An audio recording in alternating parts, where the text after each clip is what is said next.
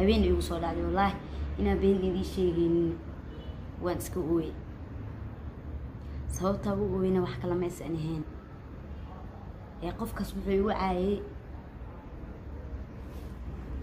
Asalaamu calaykum waraxmat ullaahi wabarakaatuhu asxaabta sharafta le waa mar kale iyo muuqaal cusub. Bartan aada iga dheehanaysaan waa bartiinii waa barteenii waa bartii aan ku kulmi jirnay. Waa laakaha midhiyo baro. Aada iyo aad baa u mahadsantihiin. Meelkastaad ku joogtaan daafaha caalamka waan idin salaamayaa salaanta islaamka.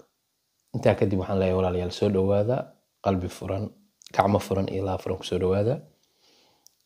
Allah ayaa mahad iska leh isugu kan keenay muuqaalkan awoodna inoo siiyey inaynu isa soo hor fariisano runtii waxaan rabaa inaan ka hadlo muuqaal runtii imuruga geliyey oo aan aada uga murugooday runtii.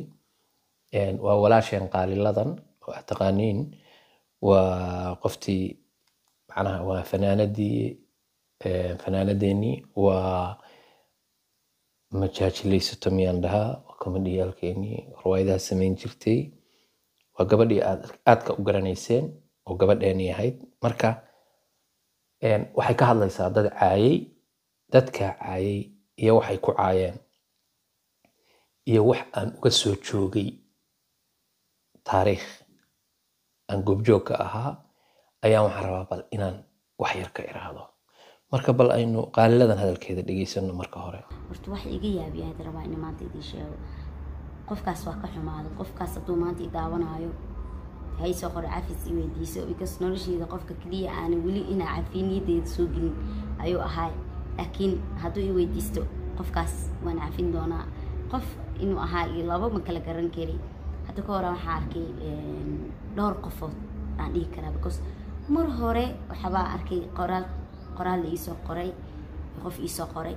Haddana qoraalkaas ayaan dhawid markii aan guursanayay ayaa isagana qoraalkaas haddana waxaa ku arkay tictoga camal. Marka waxaan malaynaa dhowr qofooda kala duwan dhowr maxaan ku dhahaa qofooda kala duwan inay tahay waa laga yaabaa adduunka waxaa ugu daran maanta haddii ay tiraahdo qaaliyey maxaad saan iskugu dharkaan u soo xiratay aa igu caysid dharkaan maxaa u soo still aniga mogtahay inay caysid aday xaq ma laakiin waxaa igu caysay haddii yihiin waxa aniga sameeyey at least way ka roontaa waxa ilaahay sameeyey. Hadda hadda tiraahdo nayaa waa madoobeeda maxaa isku caddaysay?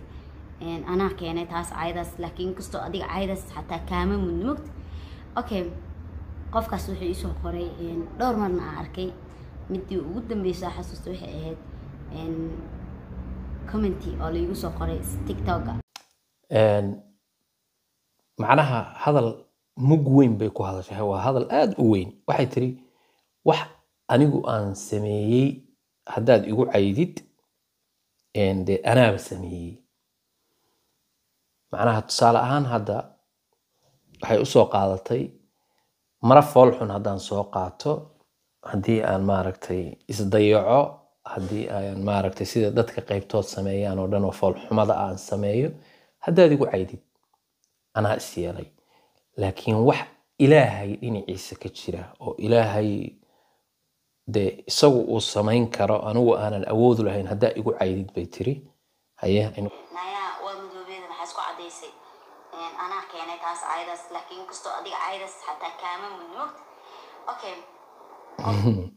macnaha xataa kaama mudni ina ay caydid bay leedahay. Waa runteed.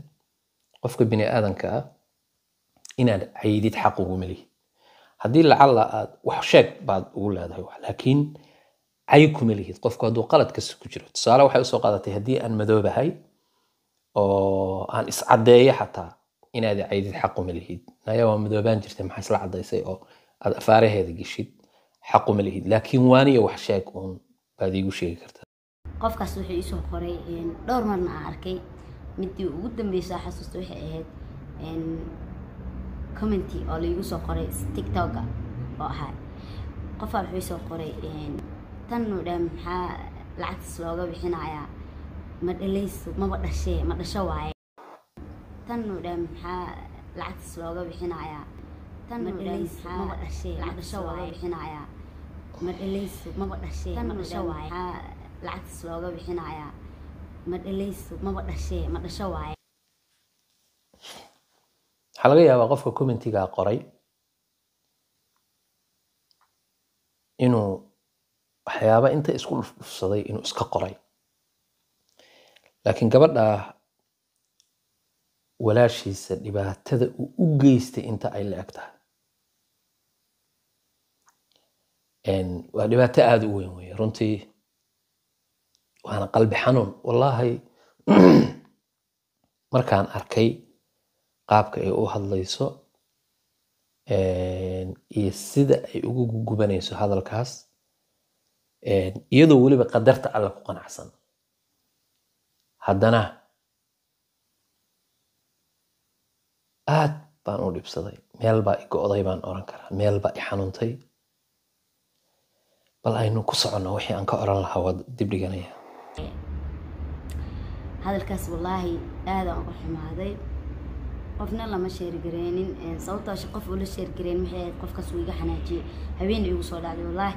Inaan been idii sheegaynin waan iska ooye sababtaa u ooyena wax kala maysan ahayn. Ee qofkaas wuxuu igu caayay hadda ay muuqaalka duubayso way jartay muuqaalka. Dabcan waxaan u malaynayaa qofkaas uu iga oohiyey bay tiri.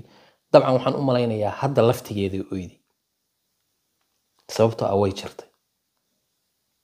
Qofkaas wuxuu igu caayay aan ka ku fekeray waxay ahaayeen. Midda koowaad waxay ahayd qofkan markuu ku dhahayo ma dhaleysaa tahay ama ma dhaleysid isaga garantiin miyaa inuu dhalaayo? Because haddii aa hore u dhashay xitaa waxaa laga yaabaa inaada dhalin dambe aada dhalin sababtoo ah hadallada qaar ilaahay wuu fiiriyaa. Qofkaas aad baan uga xumaaday dhowr qofood hadda ka hor mar horena saasoo kale la iisoo qoro tan ma dhashay horta. Aniga barta koowaad marka koowaad waxa aan la ooyey waxay ahayd ilaahay labadeena qofoodba inuu sameeyey. Asagana inuu sameeyey anigana isamey garanti horta qaaliladan marka koowaad ilaahay waxaan uga baryayaa ilmo ay ku faraxdo oo baariya in ilaahay siiyo. Dabcan sida hadalkeeda iga muuqata mar walbana dee qofka islaamka ah haddii ay ilmo leedahay iyo haddaysan lahaynba way u baahan tahay ilmuhu ilmuhu qofku wuu u baahan yahay. Laakiin runtii qaaliladan dhaawac bay dadkaasi u geysteen. Anigu hal baan oranayaa marka. Dadka hadalladaa yidhaahdaa laba arrimood oo aan uga soo joogay oo aan markhaanti ka ahaa baan idiin sheegaya dadka laakaha media ku xiranna waxaan rabaa inay ogaadaan hadalkaas. Hadda ka hor ayaa waxaa dhacday wiil baa gabar guursaday. Wiilku isaguna markaa wuxuu ahaa nin dhalinyaro ah oo cusub iyaduna dee gabar dhalinyaro markaasay isguursadeen qiyaastii marka buuq baa ka dhex dhacdhacay reerkii labadii reer oo ay ka dhasheen baa isqabtay hadday isqabteen soomaalida waa taqaan sheeko ah waxay aamineen qabiilkeeda habaaray oo dhali mayso. Sheeko noocaas iska dhaadhiciyeen. Gabar kale oo maaragtay weliba annagu aan isxigno yaan waxaan arkay marka tani waxay dhashay way isla eg yihiin isku mar baa la guursaday laakiin da koowaad labaad saddexaad afar da'ood bay dhashay. Tanna shan sanaa la qabaa afarta da'ood dhashay meelahaas shan sano qiyaastii shan sano lix sano. Tanna intaa in lamidaa la qabaa. Anigu waa yaraa marka. Nin yar baan ahaa. Waa la joogay marka si cad oo bareer abay waxay ugu tiri adiga reerkiinnii baa ku habaaray dhali maysid bay ku tiri. Ma laga yaabo ninkan inaa ilmo u dhashid reerkiinnii baa ku habaaray bay tiri. Gabadhu anoo u jeeda gabar yar bay ahayd way madoobaatay. Anigu waan ka xumaaday waxa aan hadda u dareensanahay waxa weeye aad baan uga xumaaday. Walow aan yaraa aad baan uga xumaaday way idamaqday hadalka ay gabadhaas ku leedahay intay ku soo jeensatay waxay ku tiri heblaayoy ma og tahay walaal ilmaha reer ma bixiyaan. Ilaahay baa bixiyay ma og tahay bay tiri xaqiiqdii kelmaddaasay ku tiri wax kale kuma oran. Waa sii fiiriyey. Sheekadii saasay ku dhammaatay muddo kadib anigu waan soo koray waa weynaaday nin weyn baa noqday. Waxaasoo dhan ma dareemin. Mar dambe waa dambe. Yaan arkay. Aniga nabar buu ahaa. Hadalkaas berigii ay gabadhani lahayd way idhibaysay tanna weliba waxaanu nahay faamil aada u dhow. Walow tanna aanan kala fogeyn laakiin tan dee maaragta waxaasaan nahay ma oranayo laakiin waxa dhacday gabadhii. Tanina waxay haysatay toddoba caruura baan u malaynayaa. Hal wiil iyo waxay haysatay lix gabdhood. Tii ay madhashada ku caayaysayna ilaahay awooddiisa fiiri. Laba iyo toban bay haysatay. Laba iyo toban bay dhashay oo isla ninkii u dhashay. Dadku asbaabtay leeyihiin nin walba naagta isagoo qooqan buu u tagaa. Naagtu iyada laftigeedu waa qooqanta. Baahi baa jirta way isu tagaan keliya laakiin abuurka allaa leh. In marka gabadhan aad ku caydid commentiga oo aad tiraahdid ma dhashaa tahay? Haddaad adigu ilmaha dhashay inay kuu wada noolaan doonaan ma garanti baad u haysataa? Haddii aadan ilmo dhalinse inaad dhali doontid adigu ma garanti baad u haysataa? Ma yaa kuu saxiixay ma ilaahay agtiisaad ka haysataa? Ilaa imisaad imisaan naqaanaa imisaad taqaanaa adigu dad caruura dhalay oo ka dhammaadeen oo aan hal ilmaba ka hayn. Imisaad taqaanaa waa risaaqad alla bixiyo. Ilaahay baa qur'aankiisa ku cadaynaya oo ku sheegay risaaqadaas kii aanu doonno waxaanu siinaa wiilal kii aanu doonno waxaan siinaa gabdho kii aanu doonno waa isugu darnaa mid waxaanu ka dhignaa midaan dhalayn. Allah sheegay adigu marka inaad qof ku caydid eg qofka wax adigu aad sida iyaduba cadaynayso dee qofka inaa caydidba dee laguma banayn laakiin qofku wuxuu isagu isliiditaan uu isliidayo ama dhibaato uu isu geystay xataa waa ku tilmaami kartaa laakiin tani waxay iyadu geysatay maaha hadday awoodo maanta daqiiqad daqiiqad bay laba laba u dhali lahayd. Inaad saa tiraahid maaha qiso kalena waa idinka sheekaynaya oo dhacdo ah dhab ah xaqiiq ah. Laba gabdhood waa sweden dhexdeeda laba gabdhood baa hal meel ka wada shaqeeya. Waa isku mihnad macnaha. Way wada shaqeeyaan. Labada gabdhood mid carruur ma leh. Oo carruur ma dhalin. Midna waxay leedahay lix caruura. Wallaahi ilaahay baa imaqlaya way ku cayday. Naa orod naga tag bay tiri wax yahay guriga madow ka soo toostaa. Saasay ku tiri. Guri madow oo bilaa farxada waxaad ka soo toostaa bay ku tiri guri madow oo aan farxad lahayn. Markaasaad aniga isla kaysimaysaa. Wallaahi bilaahi tallaahay maanta tii guri madow bay ka soo toostaa carruurta lahayd. Gaalaasaa uga qaaday. Waa laga haabtay. Macnaha qofka bini aadanka ah eg anigu waxaan aaminsanahay xataa haddii ay keligeed ku tiraahdo oo iyada iyo iyagoo iscaayaya ay keligeed ku tiraahdo macnay ahaan lahayd meel toban qof dhowr iyo toban qof ummad dhan isugu timi oo bini aadan badani taagan yihiin laakiin meel dad badani joogaan oo soomaali dee ku dhan tahay bay ku tiri hadalka.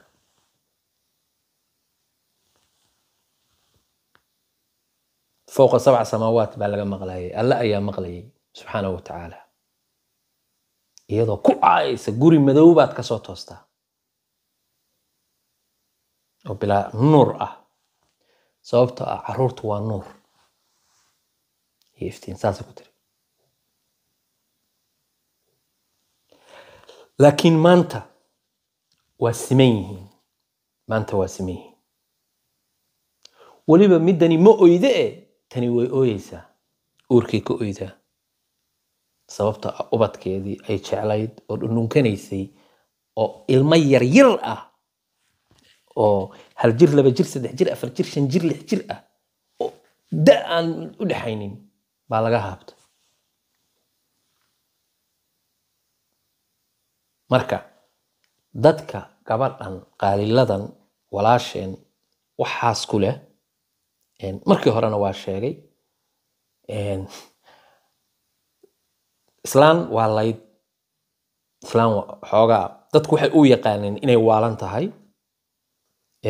Laakiin dee kolba uun ma aqaan. Islaantaasaa gabar bay dhashay. Waa la weydiiyey. Nahablaayo dadku waxay u yaqaanaan marka inay xoogaa dhiman tahay. Laakiin qof guri dhisanayso oo gurigeeda oo shaqaysato oo weeye. Markaasaa la yidhi heblaayo yaa gabadhan u dhashay? Baa la yidhi moogta markaasay tiri ma aqaan nin roor ayaan ka reebay bay tiri moogtahay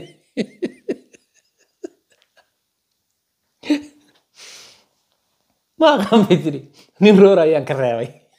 Macnaha nin baahan baa ii yimid dee markaasaan maaragtay uurka yeeshay bay leedahay moogta. Eh, marar baa la sheegaa dadka xanuunsan oo dhimirka ka xanuunsan xigmad baa maaragtay xigmad bay leeyihiin mararka qaybtood. Macnaha iyadu ma garanayso qof xanuunsan weeye oo dhinaca dhimarka laga hayo laakiin markii la weydiiyey oo la yidhi heblaayo ilmahan yaad u dhashay. Macnaha hadal waxay ku jawaabtay xigmad leh oo aad iyo aad loola yaabay oo de hadda maanta anigu markaan maqlayay ilmo yar baan ahaa hadalka laakiin maanta iyadoo intaasoo sano soddon sano labaatan sano wax ku dhow ay ka soo wareegtay haddana aan garanayo waa hadal xigmad leh wey waxay tiri nin roorayaan ka reebay. Ma aqaan bay tiri nin roorayaan ka reebay. Marka waa cajiib. Naagtani ninku waxa weeye uun waa waa sabab way sabab. Inta badanna dadku markay iyagu sheekadooda wataanba ilmaba kama fekeraan. Laakiin allah meeshan ka dhex sameeya. Abuur alle weeye alle uunbaa samaynaya samays alle uu wado weeye. Awoodda rabbi bayna ku timaadaa boqoradii barakoysneed baa waxaa ii keentay. Baa waxaa ii keentay shaah. Maasha allah bismillah awlo aakhir bismillah. Waxaan ka wadaa war waa ciyaarayeen. Kuwa jabuutiyaana way alla way tiri markii waad faraxsanayd macnaha waa iska ciyaaraysay. Alla way bay tiri alla markii waad ciyaaraysay. Markay umulaysay garanaysa iyadoo umulaysa bay tiri way intuu ku qayliyey way naga dhal buu yidhi moogtahay naga dhal markaasay tiri way alla markii waad ciyaaraysay xanuunkan inuu ka dambeeyo. Macnaha ciyaar bay ku jireen dee. Marka iyagu iska ciyaarayaan. Eh, waxaan leeyahay walaashay qaali eh, qaaliladanay dadkani waxaa jira dadaan dadka nolosha u quurin. Dad baa jira aan farxadda kuu ogolayn. Dad baa jira quruxdaada iyo hanaanka iyo saa u nooshahay iyo nabtaada iyo asluubtaada iyo qaabka u nooshahay iyo nolosha alla ku siiyey dadka xun baa jira. Cadowga aga haw jabin qaaliyey cadowgaaga haw jabin. Ilaahay kuuma jebiyo alla kuuma jebiyo ilaahay waxaan kaaga baryayaa mataano mataano in ilaahay ku siiyo. Baan alla kaaga baryayaa idinkuna aamiinin dhaha ilaahay inuu caawa iyo habeen dambe iyo xilligii ilaahay maaragtay odageeda u qadiraba ilaahay inuu ku gunto laba labo baan ilaahay uga baryay kuwa saa ku habaarayna kuwii aan ka sheekeeyey oo kale inay noqdaan baa laga yaabaa. Oran maayo ilaahay ha ka dhigo laakiin waxaan leeyahay dembi baa gasheen qalad baa gasheene ilaahay uga toobad keena. Alle alle uga toobad keena.